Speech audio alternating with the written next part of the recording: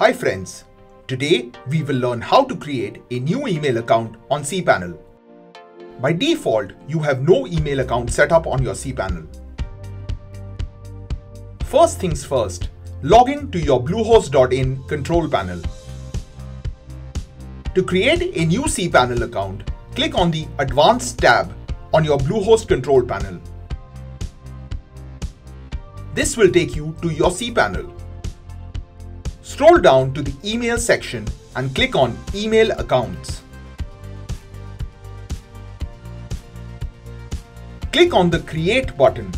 This will take you to the create email account page.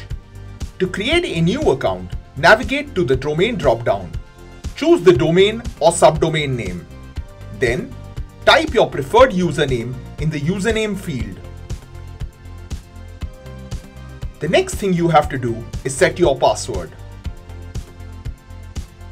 You can either create your own or use the password generator. Next, you come to the quota section. Here, you can choose the amount of disk space you want to allot to the new email account. With all this set, go ahead and click the Create Account button.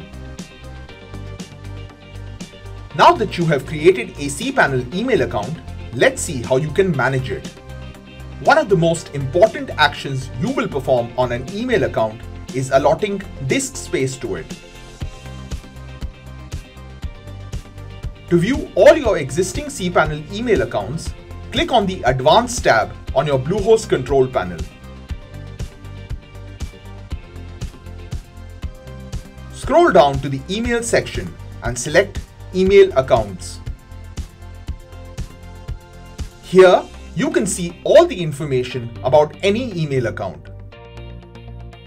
The email address, the restrictions, and storage space. To change the storage quota on any email account, click on Manage next to the email account you want to change the quota for. This will take you to the Manage Email Accounts page. Scroll down to the storage section and change the quota of storage.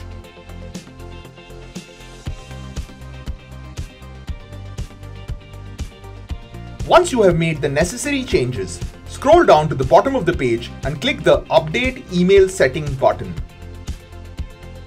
And that's all. Once you get the confirmation, you can check the revised quota on the email accounts page.